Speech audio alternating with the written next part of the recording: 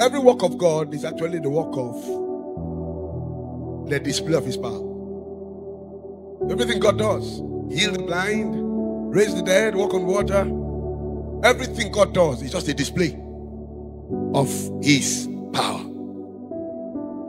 Psalms 147 and verse 5, Bible says, Great is our God and of great powers. His understanding is infinite. The Lord lifts up the meek. He caused the wicked. He casted the wicked down to the ground. Says, Great is our God and of great powers. So God is great, He has great powers. Bible said his understanding is infinite. The Lord lifted. So because he is of power, he can lift. Whenever he locates you, he doesn't leave you where he meets you. He meets you to take you up. You see, God lives at the top. God lives on high. So anytime he finds a man, that man is low. And when he finds a man low, he picks you up. God is powerful enough to pick you up. Pick you out of financial low level to financial high level. Pick you out of the background of nothingness to the to the to the face of something beautiful. He can pick you from the back side and bring it to the front side. I like you to bank your faith in this God that has power. In as much as God is my God, my case will not remain the same. In as much as God is my God, I will it will not be for me in 2024 as it was in 2023. In as much as God is my God, He has power to settle me, He has power to fight my battle, He has power to, to lift me. Bible says He lifted up the meek. Pray in the name of Jesus. Anything that demands the power of God to be administered in your life in this 2024, in these seven days of connect, I pray, may that power locate you and do it for you. Now, if I want to provoke God's power, what do I do? The Bible said He lifts up the meek. The meek, by character of meekness, moves God. And because God is moved by the meek, the meek experiences the power of God. There is something that has to do with the meek. That character of meekness moves God. And when God is moved by the character of the meek, he lifts the meek. So, if you want to trigger the power of God, what do you do? Develop the quality of being meek. Meekness is key to triggering the power of God. The meek moves God. As they move God, God moves his power. And they are lifted. To connect to power, you must develop meekness. I want to show you somebody. Bible called him the meekest of all men on earth. And he was among the most powerful of all men on earth. He was the meekest and the most powerful. In his days, there was nobody ranking with him in power. In the place of power, he was number one. And in the place of meekness, he was number one. So meekness gave him access to divine power, and he was he, he was so powerful that God called him a god. He was so powerful that God told him, Well, I am sending you as a God. So meekness can make a God out of a man. Because meekness will release to you the powers that be in God. The strength in God is made available for the meek. That is the man we call Moses. Numbers chapter 12 and verse number 1. Bible said, And Miriam and Aaron spake against Moses because of the Egyptian woman whom he had married. For he had married an Ethiopian woman. And they said, Had the Lord indeed spoken only by Moses, had he not also spoken by us? And the Lord heard it. And now Moses was a very meek. Moses was very meek above all the other men which were upon the face of the earth. And the Lord spake suddenly unto Moses, unto Aaron, unto Miriam, Come out, ye three, unto the tabernacle of the congregation. And they three came out, and the Lord came down in the pillar of a cloud and stood in the doors of the tabernacle and called Aaron and Miriam. And they both came forth. And he said, Hear now my word. If there is a prophet among you, I, the Lord, will make myself known unto him in a vision, and I will speak unto him in dreams. But my servant Moses is not so, whom is faithful in all my house. With him I speak mouth to mouth, even apparently not not in dark speeches. In the similitude of the Lord shall he behold. Wherefore they were are you not afraid to speak against my servant Moses? And the anger of the Lord was kindled against him, and he departed. Now, here's something here. Two, two people were on their own discussing. God was not visible. Moses was not there. A man and a woman were just talking. You know, talk, and the woman said, "This our brother Moses self. Does he even think he's the most anointed? See the way he has just been. After all, after all, he's a sinner. he married an Egyptian woman. He married an Egyptian woman. Does he not know that it's against the law of our God? After all, don't does he not know that we were prophetess and prophet before he was born? You know, Miriam was the first, Aaron was the second. Moses is the last. When they were after Moses, it was Miriam that carried Moses to the river and hid Moses. It was Miriam that explained to Pharaoh's daughter that this is a child born of a Hebrew. So, so, so he was, he was old. She was older. She understand, understood God more than, more than everybody. So she, she, she has, she has understanding. But now look at it. She and her junior brother was on their own talking. Nobody was there. Moses wasn't there. Bible said that suddenly God responded. God suddenly appeared and said, Hey, what are you talking about? You are talking about my servant. Why? The end of it was that they were punished. Why will God suddenly appear? I've seen people talk about people, God did not appear. I've seen people slander people, God did not show face. But in the case of Moses, as they slandered him, God appeared. Why? Bible said that this Moses was a meek man, which means when meekness is in you, God will intercept in your case, God will intervene in your case. When you are of a meek man, when you're of a weak heart, of a meek heart, God will always intercept in your case. God will come to your rescue, God will come and fight for you. You have no voice, God will fight for you. You cannot do anything. Meekness will make God come your way. Bible said they came um, attacking Moses, God came and attacked them. God came and said, Well, three of you come together. He said, If there be a prophet, I will move myself, I will I will give myself to the prophet through through dreams and revelation. But for Moses, I will not use dreams to talk to him. I will not wait until he sleeps for me to talk to him. I will talk to him face to face, mouth to mouth. Why? Moses carries something that attracts God. And what is that thing? Meekness. Meekness in you attract God to you. A meek man will attract God.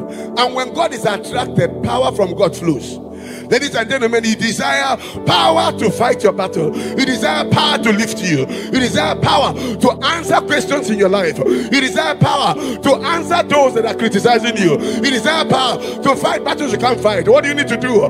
Don't attack anybody. Be meek. If you are meek, God will take over your battle. If you're meek, the power of God will flow consistently on your behalf. I don't know who I'm talking to here, but I pray in this month of January, in this year, may God grant you grace to be meek. All that Moses had was meekness. And because he was meek, God came to make him. Meekness to make God to make you. He was meek. God came to fight for him. He was meek. God confirmed him a prophet. Which means when you're meek, heaven will confirm you. Heaven will confirm you a man that cannot be defeated. Heaven will confirm you a man that will be defended. Heaven will confirm you a man God will fight for. May God fight for you.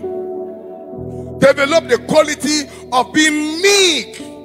I'm telling you, if you are full of meekness, God will give you the milk of, heaven to drink. I'm, I'm telling you, if you're full of meekness, God will give you the milk of heaven you will drink it. Moses drank the milk of heaven. 40 days, 40 nights, he is in the mountain. What, what, what do you think he was doing? He was drinking the milk. You know, as newborn babes, desire ye the sincere milk of the word that you may grow thereby. So there's milk in God's word. 40 days, 40 nights. Moses the meek is in the mountain with God, hearing God's word, sucking the milk of God. Didn't make sense.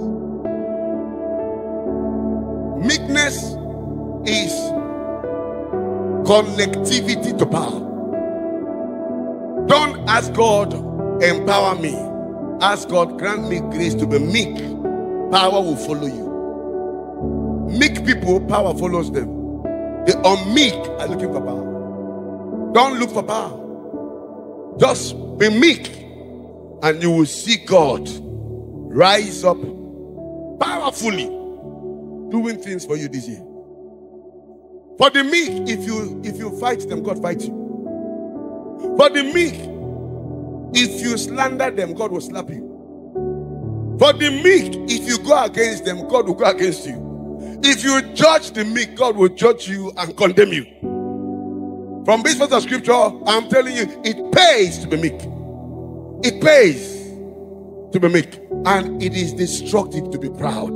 Because the opposite of meekness is being proud. Bible says that God will resist the proud, but he will give grace to the humble. Another word for humbleness is meekness.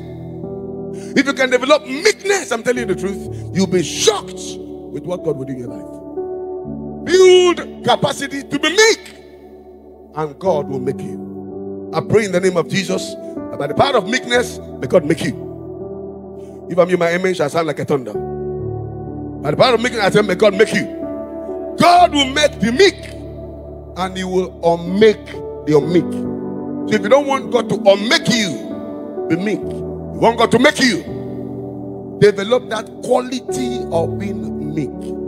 A meek man is a humble man. A meek man is a down to earth man. A meek man is a man that reveres God. A meek man is a man that is empty of self, empty of self, empty of self. A meek man is not a high minded man, he's not an ostentatious man, he's not a man who, who, who exalts himself. A meek man is not a self lifter, he lifts God because he lifts God, God lifts him. I pray again for you in the name of Jesus that throughout this year, 2024, may God great, grant you the grace for meekness. May God grant you grace for meekness. And as you become meek, may God make you. May He make you beyond your imagination. May He make you stronger than your enemy. May He make you better than your past. May He make you higher than your past. In the mighty name of Jesus. Somebody thunder your amen right now. Meekness made Paul. See what Paul said. Second Corinthians chapter 10 and verse number 1, Bible says, Now I, Paul, myself, beseech you by the meekness and gentleness of Christ. I beseech you by the meekness and gentleness of Christ, which was in him, who in present am based among you. But being absent, I am bold towards you. Can you see Paul? Can you see Paul? See the quality that made Paul. Sometimes what makes people are little things. Small things is what makes people. Can I say this? It is a small key that opens a big door.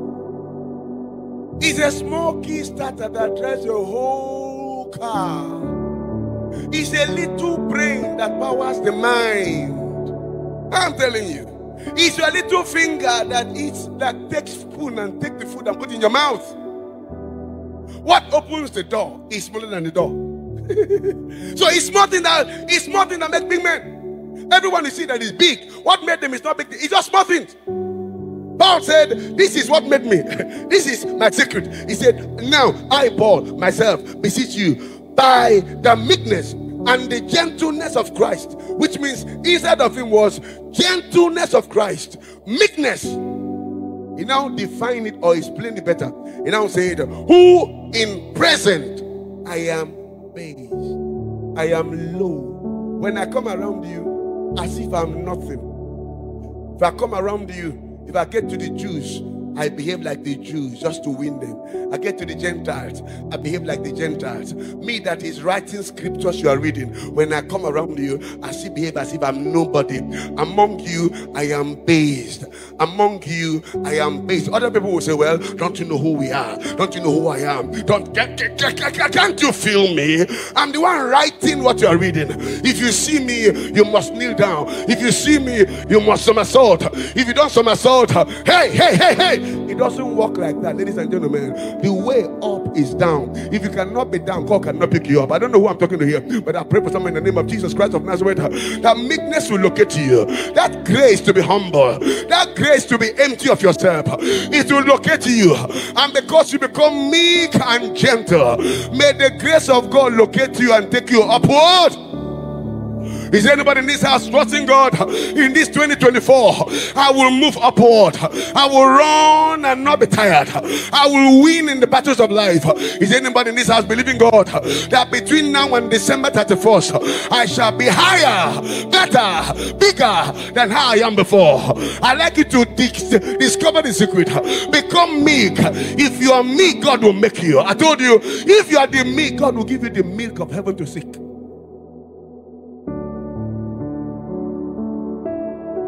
Let me tell you about meek. James 3 verse 13. Who is wise among you and endure with knowledge among you? Let him show out of good conversation. It works with meekness and wisdom. Say, if you're wise, show forth, show forth your works, show forth your life with the meekness of wisdom. Which means in meekness there's wisdom. The wisdom of the meek makes the meek low, even though they are high. Most men that are so high, if you get close to them, they are too low. Do you know what I found out? If you get to do that God has helped and they are the top, somehow they put systems around them that makes it impossible for you to be close to them. Why? If by mistake you get close to them, you see how how meek they are. See how simple they are. You see how open they are. They know if you're close, you will see their weakness and take advantage of it. So they put systems around them so you'll be far away. So because you're far, you don't know how how how loyal they are. I'm telling you, you don't know how good they are. So they put systems so that you will not come close and become too familiar. And you know, familiarity breeds contempt. You know, you know that where there is no respect, virtue drops. The power of virtue is respect. What and nothing you can respect. The virtue that nothing cannot help you. So they will just put systems so you can be a little bit far, so that you not come close and see how how, simple they are, and you take advantage of it. Ladies and gentlemen, James said here, he said, Let let your works be proved by the wisdom of meekness, which means you are doing big things, but in the midst of you doing big things, you are still low. You are like salt. Bible said the child of God is meant to be like a salt, highly active in the soup, but invisible, highly tasteful, but invisible, invisible in the place of work. You look for salt, you won't see, but you can't deny the effect of salt.